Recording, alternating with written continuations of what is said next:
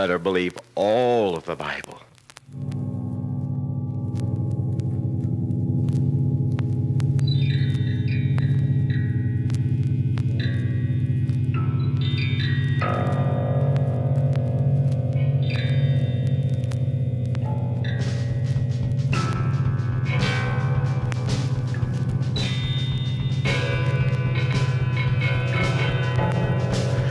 Jesus said in Matthew 8:12, "The children of the kingdom shall be cast out into utter darkness. There shall be weeping and gnashing of teeth." Matthew 13 verses 40 to 42, as therefore the tares are gathered and burned in the fire, so shall it be at the end of this world. The Son of Man shall send forth his angels, and they shall gather out of his kingdom all things that offend and them which do iniquity, and shall cast them into a furnace of fire. There shall be wailing and gnashing of teeth eternal punishment, eternal punishment for sin.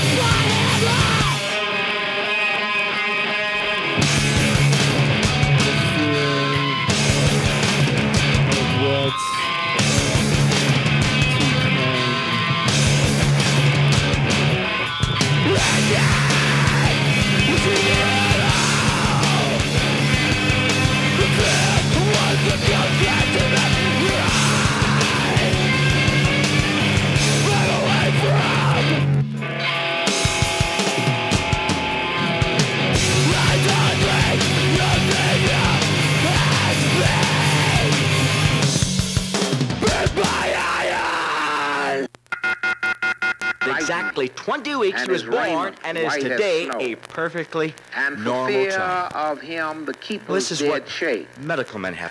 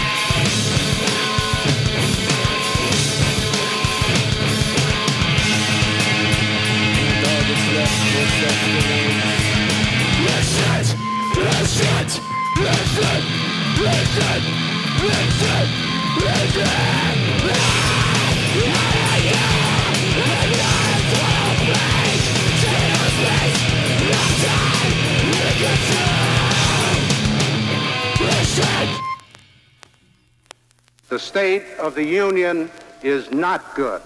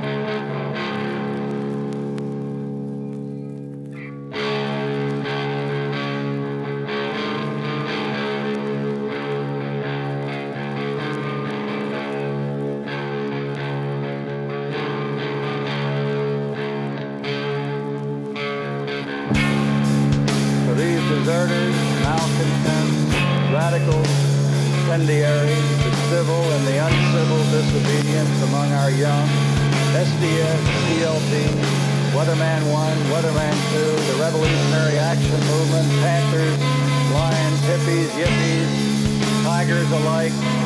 I'd rather swap the whole damn zoo for a single platoon of the kind of young Americans I saw in Vietnam.